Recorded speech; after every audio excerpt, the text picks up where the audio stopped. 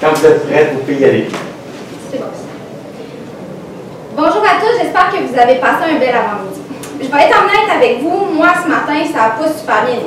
Je m'apprêtais à faire mon déjeuner préféré, un gros bol de granola avec du yogourt et des fruits. Mais en ouvrant mon dernier pot de yogourt, malheur, il était plein de moisissures. Il a fallu que je le jette. Ça m'a fait réfléchir. Combien de consommatrices comme moi jettent à chaque matin leur yogourt? Ou combien d'industries alimentaires jettent de yogourt par année? La FAO s'est penchée sur la question de plusieurs aliments, le gaspillage alimentaire de plusieurs aliments, et au niveau des produits laitiers, ça correspond à 20% de pertes annuelles. Ça, pour vous donner une idée, c'est comme jeter 574 milliards d'œufs en termes de produits laitiers annuellement. C'est beaucoup. Vous allez me dire que l'industrie alimentaire, ils se sont, ils ont sûrement trouvé des solutions au problème vu que c'est pas nouveau comme problème. Eh bien oui, mais en ce moment, les solutions qu'ils utilisent, c'est un peu des solutions plaster, donc ils cachent le bobo en dessous. Ce qu'ils font, c'est qu'ils utilisent des antifongiques dans les yogourts. Le problème avec tout ça, c'est que c'est la même classe d'antifongiques qu'on peut utiliser pour les maladies humaines.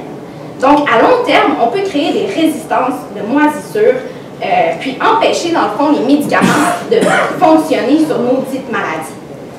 Bon, Comment est-ce qu'on régler le problème? Parce qu'on veut quand même avoir des produits qui vont être durables sur nos tablettes, mais pouvoir les conserver sans ajouter d'antifongiques.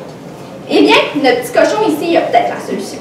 On a trouvé une bactérie lactique, Lactobacillus reuteri, dans le tractus digestif du porc. Cette bactérie-là, en, en, présence de glycérol et en absence d'oxygène, produit une molécule qui s'appelle la réutérine. La réutérine, c'est un qui a des propriétés antifongiques, mais elle est sans danger contre, ben, sur les bactéries lactiques présentes dans nos yogourts, puisque la souche productrice est une bactérie lactique.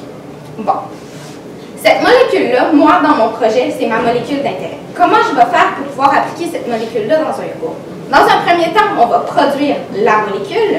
Dans un deuxième temps, on va valider les concentrations qui vont être utiles dans le lait et dans le yogourt pour voir à quelle concentration ils vont être efficaces.